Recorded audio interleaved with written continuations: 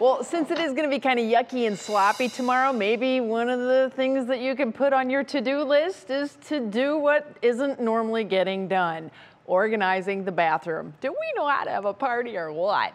Now, the kids' bathroom always seems to be the biggest problem. So we talked to an organizing expert, Kristin Gambaccini, about ways to do so. And she likes to start with the towels and using shower curtain clips. These have been a lifesaver. So I have hooks on the wall, and actually the hooks are numbered. We're very conscious about everybody having a spot to hang their towel and not sharing towels or anything like that. So we have hooks the amazing thing about these is so you hook your towel onto them and then these hang from the hook and it's like a no fail solution to keep towels hanging up in the bathroom can, I mean, seems so simple, right? You're thinking to yourself, oh, I could probably do that. Keep in mind, this is a mother of eight. Eight.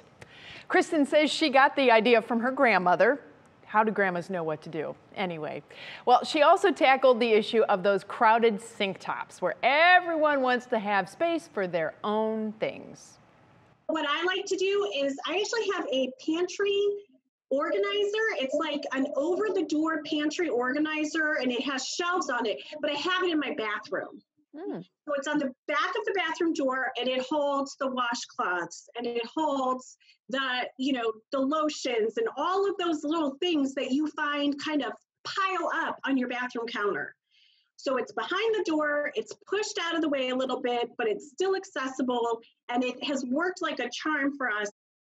Every time I talk to her, these ideas come to me. It's amazing. She is going to bring us more organizing tips as the time continues. You can also visit her website. We'll post a link to that on our wkyc.com slash what's new page. And of course, we'll bring you more of those features with her right here.